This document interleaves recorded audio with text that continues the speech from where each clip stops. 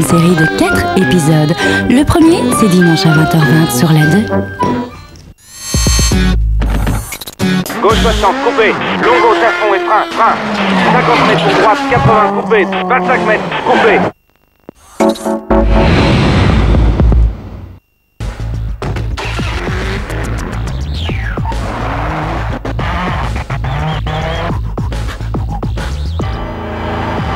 Soyez les bienvenus mesdames, soyez les bienvenus messieurs de l'autre côté de la Terre par rapport à l'Europe. Nous sommes en Australie pour le final du championnat du monde des rallyes 2004, un final agité par quelques informations assez tristes. Le retrait de PSA, Peugeot Citroën, des compétitions rallye après 2005. L'arrêt de carrière de Carlos Sainz et en plus l'accident dont il a été victime lors des reconnaissances. On écoute Thomas Bastin. Carlos Sainz au ralenti et habillé en civil, cela n'était pas prévu. Victime d'un accident lors des reconnaissances, l'Espagnol a dû déclarer forfait pour ce qui aurait dû être son tout dernier rallye. C'est quoi cet accident? C'est un accident un peu stupide, typique de reconnaissance où j'ai tapé un arbre euh, violent, très violent comme ça, la face. Et après, il me fait un peu mal sur le, sur le cervical. Il y a un disque qui a été bougé un peu. Après, c'est pas bien de, continuer. Le, fait que le disque il a été bougé, si je prends un autre choc apparemment pareil, il, y a, il y a beaucoup de risques. Alors ils se sont, ils sont dit que c'est pas bien de partir. Qu'est-ce qui vous fait le plus mal de ne pas rouler en Australie ou la douleur au... Non, non, c'est plus la douleur au corps que la douleur à cou. C'est donc avec une sacrée douleur au cœur que l'Espagnol tire sa révérence. Pour toute son œuvre, le roi Carlos méritait bien ses applaudissements. L'autre coup de tonnerre en Australie, c'est l'annonce de la fin des activités en rallye du groupe PSA après 2005. En clair, Peugeot et Citroën abandonneront le championnat du monde dans un an. Voici la réaction de Guy Fréclin, le directeur sportif de Citroën, et celle de Corrado Provera, son homologue chez Peugeot. On a pu imaginer que c'était un, coup de bluff ou quelque chose du style vis-à-vis de la FIA, un appel à des économies drastiques. Non, c'est pas du tout un coup de bluff. Euh, le WRC existe. Euh, on, sait que c'est une discipline euh, qui est en. C'est un, un, championnat du monde, c'est une discipline où il faut euh, des moyens et aujourd'hui euh, le groupe PSA n'a plus les moyens de se payer le WRC. Ça veut dire que fin 2005, c'est inéluctable, Peugeot et Citroën quitteront le championnat du monde des rallyes. C'est la décision qui est prise. Euh, c'est pas moi qui peux répondre à une question comme celle-là. Il faut demander à M. Fols. Est-ce que c'est réversible à votre avis? Est-ce que vous allez essayer? Est-ce que d'autres vont essayer d'infléchir la décision? Ah, je ne peux pas vous répondre, je ne sais pas du tout. Euh, mais je ne pense pas, puisque c'est une décision euh, qui a été prise au plus haut niveau et ça m'étonnerait que M. Fols revienne dessus. La réduction des coûts ne pourrait pas vouloir dire que si les coûts se réduisent sensiblement dans le rallye, vous, vous puissiez rester l'un ou l'autre. La décision est prise. Est prise par le groupe. Ni Citroën ni Peugeot seront en championnat du monde des rallyes après 2005. Avec Malaysia Airlines, vivez le championnat du monde des rallyes, cap sur l'Australie.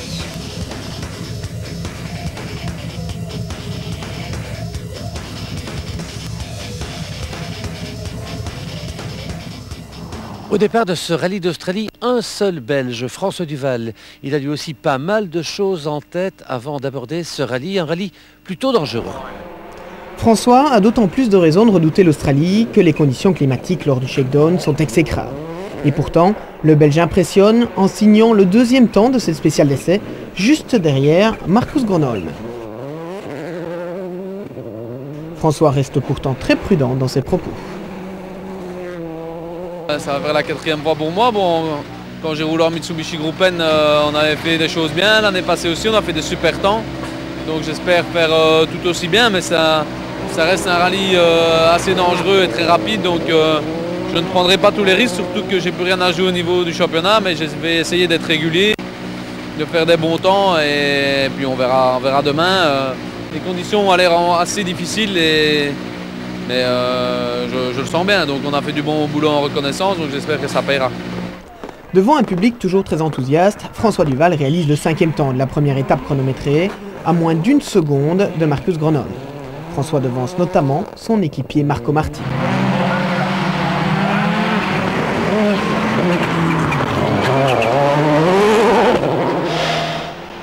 Mais l'Estonien a connu un problème dans cette super spéciale et son moteur refuse tout service le lendemain matin. Contraint à l'abandon, Martin sait qu'il ne sera pas vice-champion du monde. Dans la première vraie spéciale du rallye, François Duval est méfiant. Seulement cinquième, le Belge n'est pas content. Beaucoup trop prudent. Trop prudent, François doit aussi composer avec des réglages pas vraiment adaptés aux conditions climatiques. C'est un peu mieux, mais euh, c'est pas encore parfait. Au shakedown, on avait, il pleuvait à mort, on a mis des, des ressorts euh, très très souples et ce matin ils ont décidé de ne pas changer parce qu'il allait pleuvoir, mais j'ai toujours pas vu la pluie. Donc euh, on a un peu trop souple en suspension, la voiture flotte beaucoup, elle est pas précise, donc on se fait assez peur, mais sinon ça, ça va, on a, ça va, on verra. Tout à l'heure, tu disais trop prudent. Ouais, là on y est déjà un peu moins. Là. Si François ne parvient pas à suivre le rythme des meilleurs, c'est aussi parce que devant, ça va vite, très vite. Marcus Gronholm aligne les meilleurs temps spécial. Il emmène dans son sillage Peter Solberg, vainqueur ici en 2003. Sébastien Loeb, le nouveau champion du monde. Et Harry Rovanpera, son équipier chez Peugeot. Mais en voulant à tout prix empêcher Gronholm de s'échapper, Peter Solberg heurte une pierre et sort de la route dans le quatrième secteur chronométrique.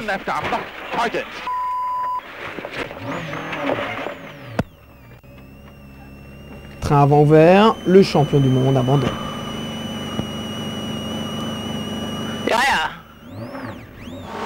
Tout profit pour Sébastien Loeb qui signe son premier scratch du rallye et s'empare ainsi de la deuxième place. Je pense qu'on en perd par le balayage quand même un petit peu et on a modifié un petit peu les réglages à l'assistance. Ça va pas mal, le feeling est bon, mais Marcus va très vite. Il n'y a plus de Solberg.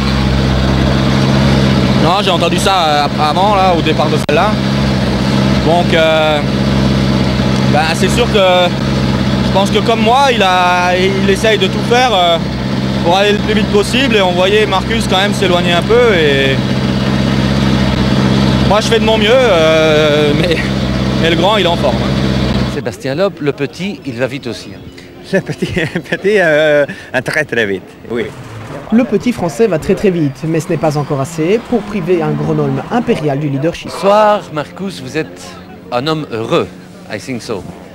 Oui, oui. uh, been, Ça a été une bonne uh, journée aujourd'hui. Je suis en uh, tête, mais je n'ai que uh, 20 secondes only 20 d'avance. Ce n'est pas tant que ça. not so much in the rally. 20 secondes, c'est beaucoup quand même euh, en Australie. C'est beaucoup euh, maintenant, Mais il y a encore deux jours et une erreur et un carrefour ou un tête à queue et c'est fini. François, première journée de rallye d'Australie, hum, j'ai envie de dire pas, pas top. Non, bon, c'est sûr que ce matin on était beaucoup trop prudent. Après-midi c'était déjà beaucoup mieux, mais on est parti avec des réglages du shakedown où c'était rempli de boue et on était beaucoup trop, trop souple toute la journée. Bon, maintenant on est en train de changer un peu les réglages et je pense que pour demain ça sera mieux. Et bon, c'était quand même très piégeux aujourd'hui et j'ai envie de rester sur la route pour apprendre. Euh, Il n'y a quand même rien à montrer ici. J'ai ressenti en vous voyant au point stop du, du rallye que il n'y avait pas une grande ambiance. Je ne dirais pas dans la voiture, hein, mais dans, dans votre tête à vous. Non, non, bah, y a quelques contrariétés dont je ne parlerai pas, mais euh, en fin de saison et on commence à, à être en contact pour l'année prochaine et il y a, il y a- il y a quelques soucis qui- qu'il faut arranger, mais je, je vais oublier ça et je arrangerai tout ça après le rallye.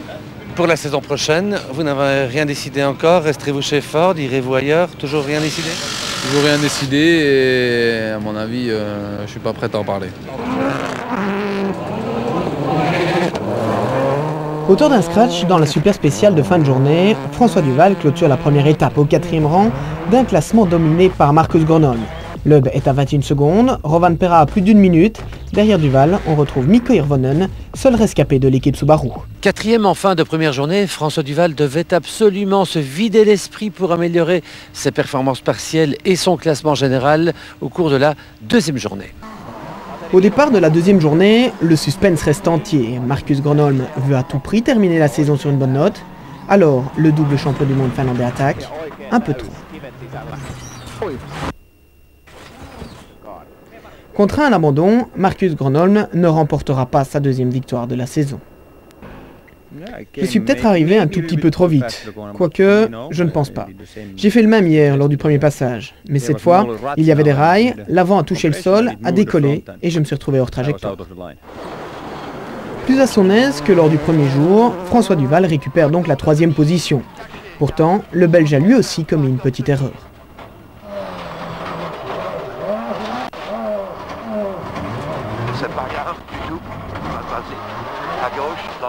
C'est pas grave, a dit Stéphane Prévost. Cela est d'autant plus vrai que Harry Rovanpera, deuxième, s'est lui aussi fait surprendre, mais sans aucun mal pour sa Peugeot.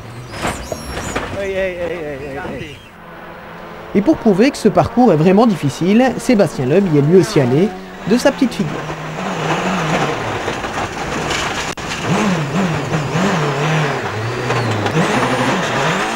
Le Français conserve toutefois les commandes du rallye. S'il l'emporte, Loeb signera sa sixième victoire de l'année et égalera ainsi le record de victoires en une saison détenu depuis 1992 par Didier Auriol. Avant d'entamer la troisième et dernière journée, Loeb compte 1 minute et 20 secondes d'avance sur Pera. Troisième, François Duval est à 2 minutes 30. Troisième à la fin de la deuxième journée, François Duval peut-il encore améliorer son classement? Il l'espère et nous aussi. Résumé de cette troisième journée qui vient de se terminer. Leader autoritaire à l'issue de la deuxième étape, Sébastien Loeb s'impose en Australie pour la première fois de sa jeune carrière. L'Alsacien clôture ainsi de fort belle manière une saison couronnée de son premier titre de champion du monde.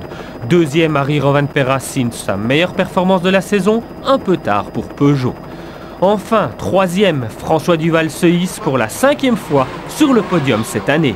Un très bon résultat après ses deux abandons successifs en Corse et en Sardaigne.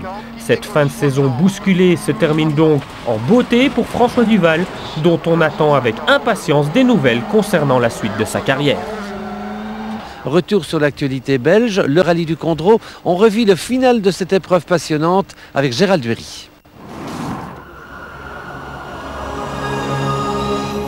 De mémoire de Condrusien, on n'avait plus connu un Condro aussi doux, 10 à 15 degrés. Veste, bonnet et gants étaient un peu de trop. On n'avait plus connu bagarre aussi serrée, protagoniste aussi variés. Depuis, oh au moins ça. Thierry, Chun, Bush, Kazir, Van Hunzel, Gigou, Kolsul, Duet, Sneyers, Prinsen, Van Parey, Scholar, De Winkel, Vres, Gaban, Verreit et Larry Coles qui déclenchent les hostilités en signant à Villers-le-Temple le premier scratch sur la Renault. Deux spéciales et deux scratchs plus tard, Chris Van Hunzel déboulonne Coles de la tête de course à fond de 6 avec la Mitsubishi Lancer. Étonnant, Chris Prinsen signe un meilleur temps pour son premier rallye avec la Clio Super 1600. Et puis, Larry Coles réagit dans les 29 km de Marnef.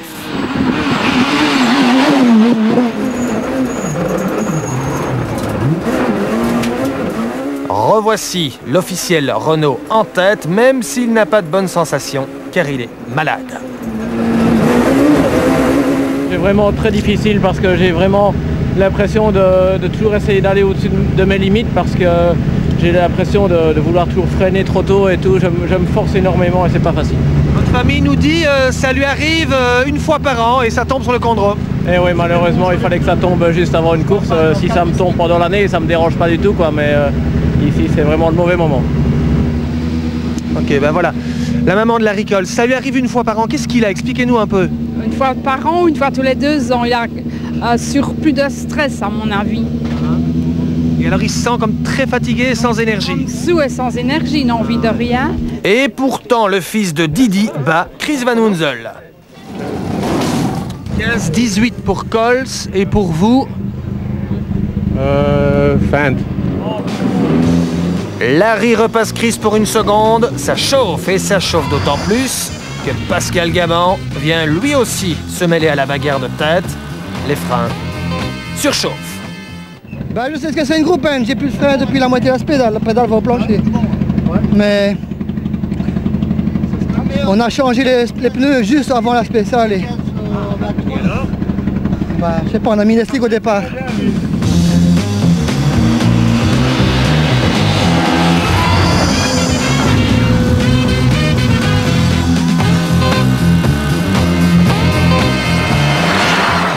Et puis, nouveau changement, Van Hunzel repasse en tête devant Cols et l'asphalte devient de plus en plus gras. Regardez le leader, il roule sur des œufs. Marc Duet, lui, teste l'adhérence. Écoutez. Le terrain est vraiment piégeux. L'une des qualités premières pour aller très vite au rallye du Condro, c'est de pouvoir bien lire la route. Regardez les deux asphaltes, là, il est sombre, ici il est clair, ici il y a du grip, regardez. De l'adhérence. Par contre là, je vous assure, c'est du verglas. C'est pour ça qu'on aime bien le rallye du Condro. Oui, et lorsque la nuit tombe avec la pluie et le brouillard, les vieux briscards sortent de l'ombre. Renault Verreit, le renard du Condro, remonte en sixième position. Patrick Steyers se replace pour la course à la victoire. Bruno Thierry revient à 10 secondes de Larry Coles. Là, de nuit, on fait des, des excellents temps. La voiture marche bien. On a frôlé la correctionnelle quelques fois aujourd'hui. Cette première journée, c'est comme vous vouliez ou c'est moins bien? Pas du tout, parce qu'on a eu euh, pas mal de problèmes, euh, surtout des fausses, euh, de- de- des choix fautifs euh, dans les pneus. Et au terme de cette première journée, 5 hommes peuvent encore gagner. C'est incroyable. Van Munzel, bien sûr. Gabon revenu à 7 dixièmes. Coles à 18, Thierry à 28 et Sneyers à 30. Les écarts sont anormalement faibles. Pascal, dites-nous, allez, qu'est-ce que ça fait là? On se retrouve à jouer la tête du Condro, c'est quand même... Ben, c'est la première fois. euh, Je savais que j'avais une voiture pour ça. Ben, il faut, il faut y croire. Et, et là, c'est le, le pilotage. Quand c'est du truc glissant comme ça, c'est pour moi. Et le lendemain matin, tout va se bousculer pour Pascal Gabon et pour Chris Van Hunzel qui part en tonneau dans le bois d'Ombray une minute avant Pascal. Regardez, Gabon arrive et Chris est là, sur la droite. Pascal Gabon est en tête. Van Hunzel est allé un peu fort. Trois tonneaux à 150 entre les arbres. La Mitsubishi est détruite, mais l'arceau de sécurité les a bien protégés. J'ai maximum attaque ici dans le spécial. Door een virage très, très rapide. Euh, ja, un peu de plus vite. 5 Cinq kilomètres trop vite. Oui, et la voiture part arrière. Et euh, ja, sur trois tonneaux avec la voiture et c'est fini pour nous. Voici donc Pascal Gabon propulsé en tête avec 22 secondes d'avance, mais attention, ça glisse de plus en plus et ce n'est pas fini.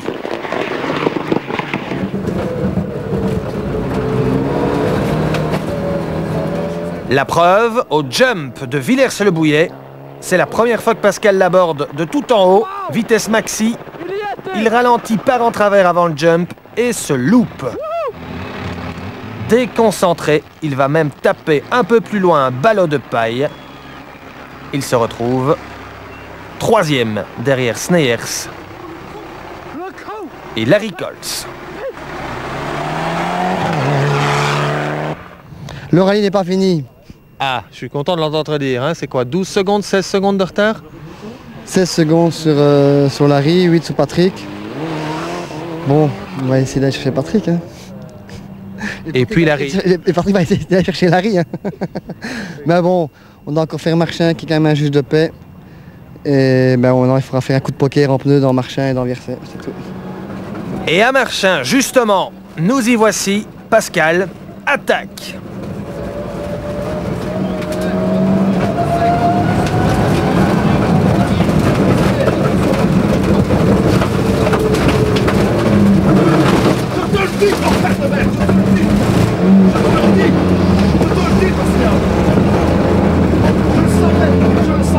J'en étais sûr Eh oui, c'est fini. Son copilote condrusien, Jean-Pierre Delmel, est terriblement déçu. Il y a une tac, on- dans les notes on a pas de tac et je pense qu'il faut aller plus à la tac et plus sur la corde parce que j'étais à un mètre de la, de la corde. Et là j'ai ma roue ici gauche, je tourne. Ça tourne, ça tourne et... Bon, la messe est dite, que nenni. Patrick Sneyers maintient la pression. À fond de 6 pour rentrer à Villers-le-Bouillet. Mais Sneyers va partir en tête à queue. Larry Coles, lui, ne commet aucune erreur. Il gagne. Larry et Philippe Godet réalisent le triplé de l'année. Spa, Ypres et Condro, ils offrent aussi à Renault le titre de champion de Belgique des constructeurs et rêvent à présent d'Europe. Faites quoi l'année prochaine? Euh, ça, pour l'instant, c'est vraiment la grosse inconnue. Qu'est-ce que vous voulez faire? Je voudrais faire le championnat d'Europe si c'est possible, mais euh, toujours la même chose, budget, budget. Le rallye du Condro, c'était la finale du championnat de Belgique des rallyes et c'était aussi à cette occasion-là la finale du challenge Citroën C2. On y revient avec Gérald Duhéry et vous allez le voir, c'est un régional de l'étape qui a été consacré. Le plus heureux des Condrusiens à l'arrivée du rallye, c'est le nouveau vainqueur du challenge Citroën C2, Stéphane Boulens de Neupré. Grosse émotion au TRC finale. Je vais embrasser mon copilote. Il roulait cette année dans un contexte particulier avec Björn Degan, le copilote du dernier vainqueur du challenge Citroën, Rick Van Heus, décédé accidentellement l'an dernier. Émotion très très forte. Merci, merci. Et ben voilà, c'est fait. On y est. C'est un moment important. hein. Ouais, c'est un moment très important. oui. Une belle saison complète, de beaux résultats, une belle équipe, une belle voiture, bien préparée, un bon équipage, euh, très chouette. Champion chez soi au Condro. Votre premier titre, vous ou pas? Non, hein Non, mais le premier, il y a longtemps, donc on va pas en parler. C'était quand? On va plutôt parler de en 91. Voilà. Il y a plus de 10 ans. 13 ans après. Pas mal, hein Peut toujours... euh, Ouais, peut toujours. Hein. Derrière le champion du bois de Rognac, la deuxième place se joue à la seconde entre Stéphane Petitjean et Marnik Van Lanker. Arrivée de la dernière spéciale. Il n'avait que, il n'avait plus que 3 secondes entre euh, Petit Jean et moi et je sais pas, ici euh, on attend, euh, on verra. 4,34. Proficiat à Petit Jean. Et dans la dernière, hein Ouais, on lui en met une encore dans la dernière. Il nous en reprend deux dans celle d'avant, donc ça fait trois d'avance. Bien, belle bagarre, hein Super. Regrettons enfin l'abandon d'Alexandre Romain, très rapide en début de course et quel car contrôle. Joli. Et celui de Jean-Louis Bousmans, 18 ans, abandon avant la spéciale de Wanzoul qui passait près de chez lui. Ironie du sort, c'est Papa, le dépanneur, qui est allé rechercher la voiture de Fifi en spécial. Voilà tout pour ce rallye du Condro. Rappelons le classement final. Victoire de Coles devant Sneyers, Thierry, Everett. C'était donc la finale du championnat de Belgique des rallyes à oui. C'était aussi la finale des championnats BTCS et Fun Cup sur le circuit de Francorchamps, le plus beau circuit du monde où il y avait, nous dit Gérald Duhéry, du spectacle de choix. Et ça commence très fort avec la Peugeot 206 BTCS de Brasseur qui se croit au Champions Day. Un peu plus loin, à la sortie du double gauche, Winter est à deux doigts de rattraper la Polo. C'était presque parfait. Dommage. Adouche, lui, se rappelle qu'une série 3, c'est une propulsion. Sterks et Eren, qu'une Renault Clio est une traction. De plus en plus attirante, ces courses de BTCS, le championnat de Belgique des voitures de tourisme avec de superbes caisses comme cette Nissan 200 SX de Richard et Lano. Et des luttes fratricides. Lorsqu'une 147 dépasse son aîné, eh bien la 156 n'aime pas. David Loax, lui, n'a pas aimé le départ de la deuxième manche lorsque la boîte de vitesse de sa BMW M3 s'est bloquée. Et de l'intérieur, c'est encore plus angoissant.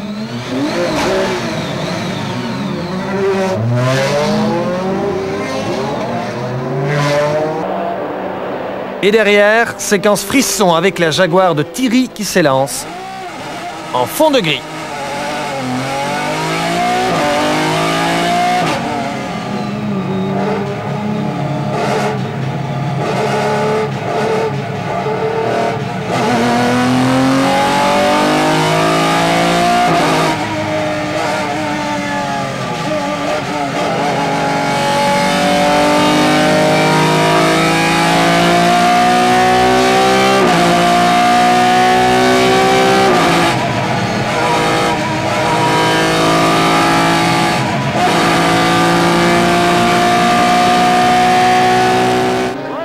Magnifique. Le championnat BTCS est sur orbite. Vanina X l'a bien compris.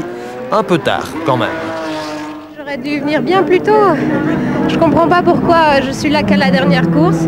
Enfin, c'est une chouette, chouette façon de finir la saison parce que maintenant l'hiver va être long. Et euh, bon, j'avais déjà eu une approche de la Super Cup avant. Celle-ci est un peu différente, mais euh, aussi chouette à conduire et euh, voilà. Et quand on entend ça, c'est vrai que c'est plutôt sympa.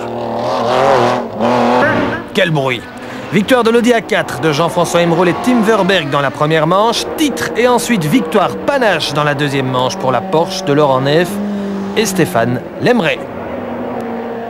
Eh ben, nous voilà champions, donc euh, c'est génial, c'est ce qu'on voulait pour l'équipe et c'est super. En Roadster Cup, la course de 2 heures est remportée par le trio Dubois, Dunem et Thibault. En Fun Cup, le plateau est toujours aussi conséquent et ce dernier rendez-vous sous la pluie est encore plus fun que Cup. Que quoi? Que Cup. Enfin, fun, je ne sais pas si les mécanos de la 55 vont trouver ça tellement fun. Son pilote non plus d'ailleurs. J'étais sixième, mais au bout des comptes, je suis deuxième, bon freinage, tout se passe bien. Je rentre dans le droit et il y en a un qui vient s'appuyer contre moi, il me pousse comme je suis en appui, je fais un demi-tour ding ding, deux voitures qui viennent me taper. J'ai essayé de rentrer le plus vite possible, mais à mon avis, à mon avis pour nous c'est fini quoi. Je ne vous parle même pas de la 59 qui joue la disqueuse dans la nouvelle chicane, de la 37 qui inaugure le futur tracé des combes, de la 32 qui fait tout et même un peu plus pour soigner la visibilité de son sponsor, joli, et pendant ce temps, la 18 d'Arnaud Mosbeu est aux limites de l'adhérence d'une Fun Cup. Il survole la course. Personne ne lui résiste. Sistermans prend le relais avec succès. La nuit tombe. La Colson Racing retombe en troisième position lorsqu'elle vole au bac à sable, mais terminera néanmoins troisième car drapeau rouge, la course est arrêtée. La Hello Racing termine deuxième et la 24 de Dupont-Peup décroche une dernière fois la Lune cette saison. Francorchamps sera le théâtre de notre Champions Day. Ce sera, vous le savez, le dimanche 21 novembre. C'est pour tout de suite. Venez nous retrouver au Champions Day. Venez-y car ce Champions Day, eh bien, il est pour vous. Et vous allez être gâtés. Vous pourrez admirer au Champions Day Stéphane Enrard, qui escaladera le Rédillon avec son buggy du Paris-Dakar. Pour les rallyes belges, Bern Kazir, le champion de Belgique Super 1600, sera là et il retrouvera certains de ses adversaires, avec notamment Cédric Beres, Olivier Collard, Jean-Pierre Van der et Bernard Munster. Xavier Bouche, champion de Belgique européenne, sera également à Francorchamps, tout comme les duettistes du championnat d'Europe, Bruno Thierry et le français Simon Jean-José. Au niveau mondial, Stéphane Sarrazin, champion de France et révélation de cette année 2004, rejoindra l'incontournable François Duval. Pour assurer le spectacle, il faudra aussi compter sur les buggy, style course des champions. Pour la première fois, ils seront pilotés par quelques grands noms en face à face pour des duels mémorables. Au niveau des personnalités, nous serons gâtés également. Jackie X, Justine Hénin, Stéphane Evers, Didier Renders, Claude Erdekens et Michel Forêt ont notamment promis de nous rejoindre. Vous l'avez compris, il y aura du spectacle sur la spéciale, mais aussi en dehors.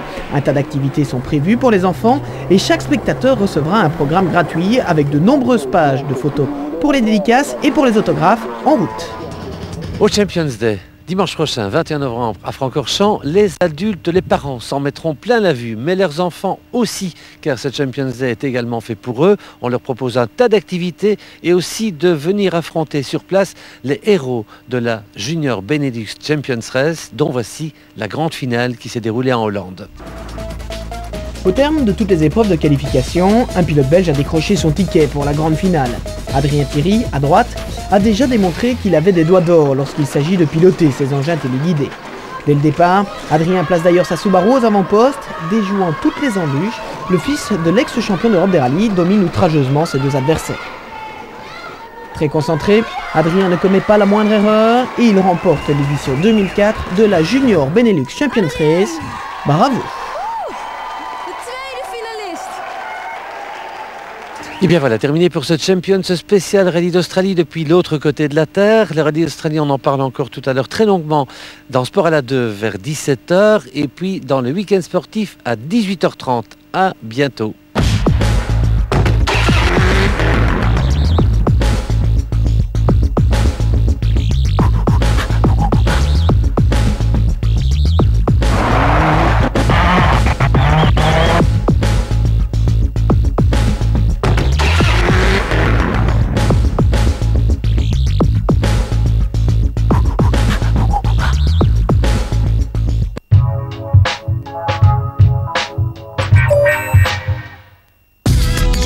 La soirée d'hier.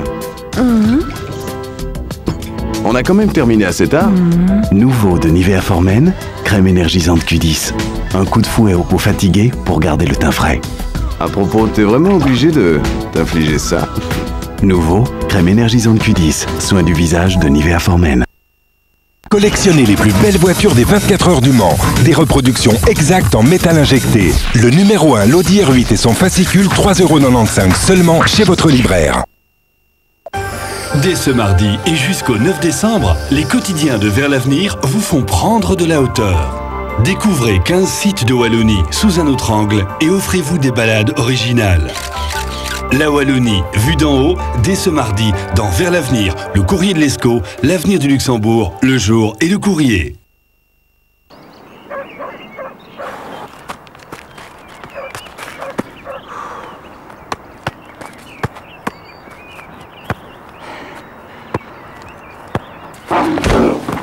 Il n'y a pas que le foot dans la vie. Il y a aussi le rugby. Et la natation. Bi-Premium, c'est aussi deux chaînes 100% sport, avec du foot, mais pas que. BTV, déchaînez-vous. oui, déchaînez-vous. Abonnez-vous à Bi-Premium et recevez tous les bouquets gratuits pendant deux mois. Aujourd'hui, découvrez un produit sensationnel qui s'attaque à la saleté et à toutes les crasses Silid Bank.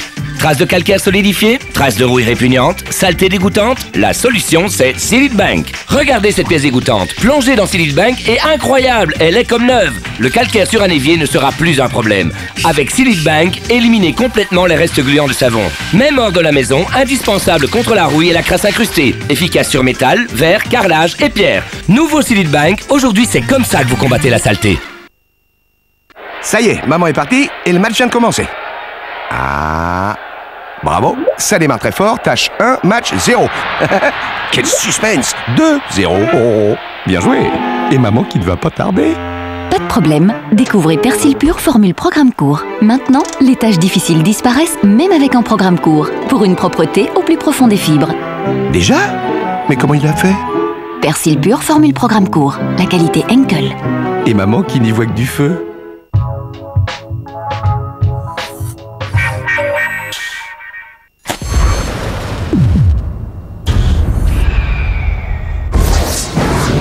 Croyez avoir tout vu sur la une Tout vu des destinées fabuleuses qui parfois vous endorment. Ouvrez les yeux.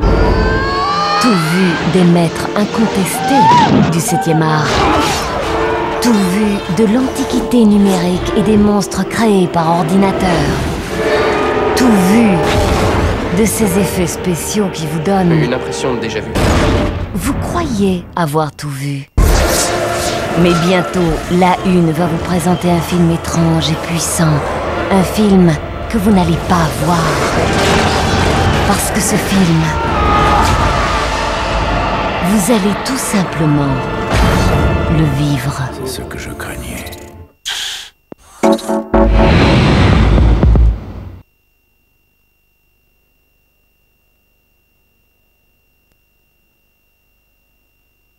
Bah... صويا بالتلميدا وكادومار سار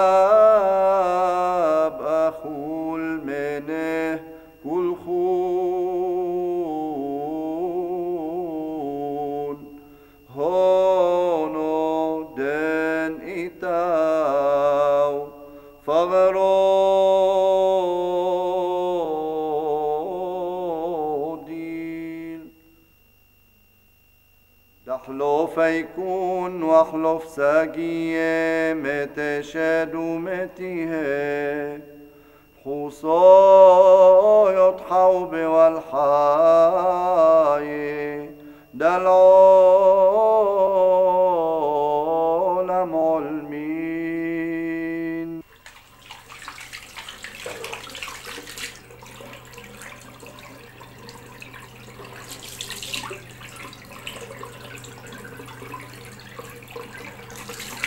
J'aime l'alcool. Je bois tous les soirs. J'aime le whisky, j'aime le vin, le champagne, cognac, la bière. Euh, je laisserai tomber Beyrouth. euh, s'ils interdisent l'alcool, s'ils euh, s'ils interdisent l'alcool, ça veut dire il n'y a plus de boîte de nuit, il n'y a plus de bar, il n'y a plus.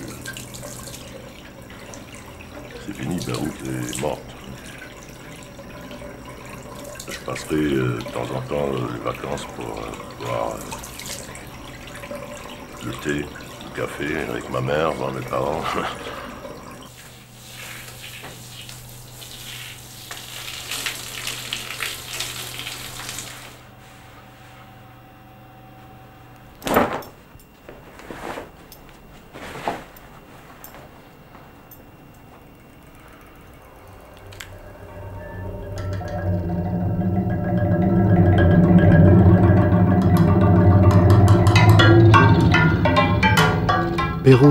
ville natale.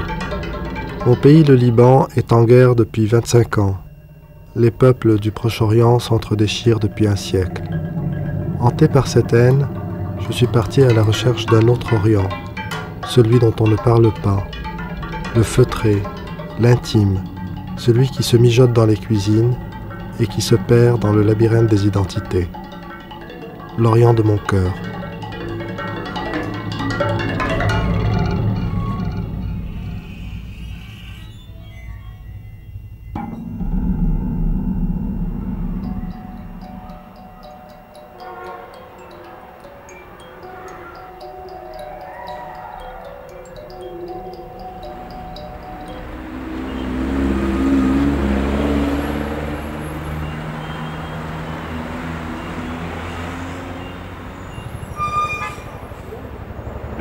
Bienvenue au B018. Bon, il y a eu des massacres ici, au début de la guerre. Chrétiens, musulmans. Et c'était la ligne de démarcation.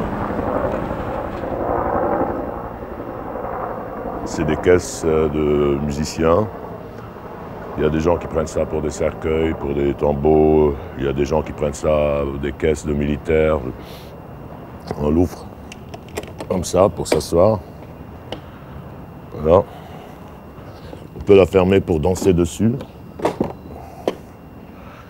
Et les tables, chaque table a été faite pour un musicien euh, qui est mort. À l'honneur de ce musicien, on pose la rose et la bougie. Ça, c'est un kaltoum. On éclaire la table la nuit. Là, c'est la table de Serge Gainsbourg.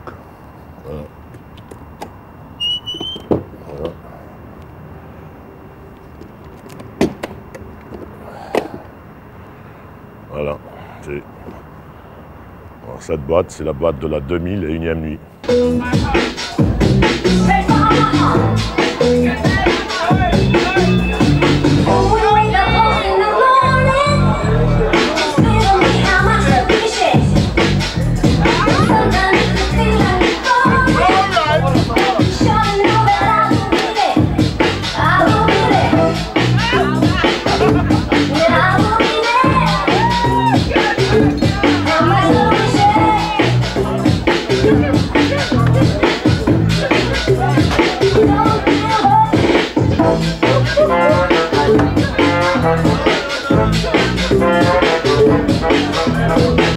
On a oublié les bombardements.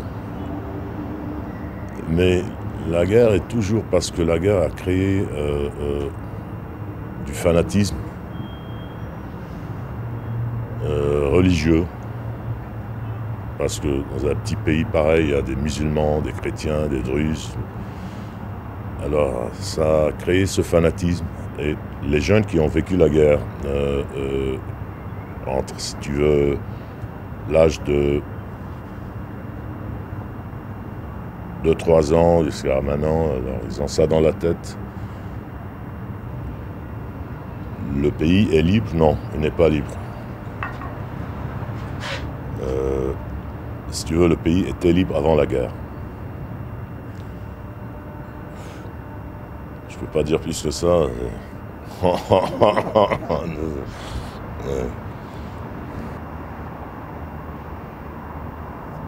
Est-ce que le Liban n'est pas libre parce qu'il y a des étrangers sur son sol?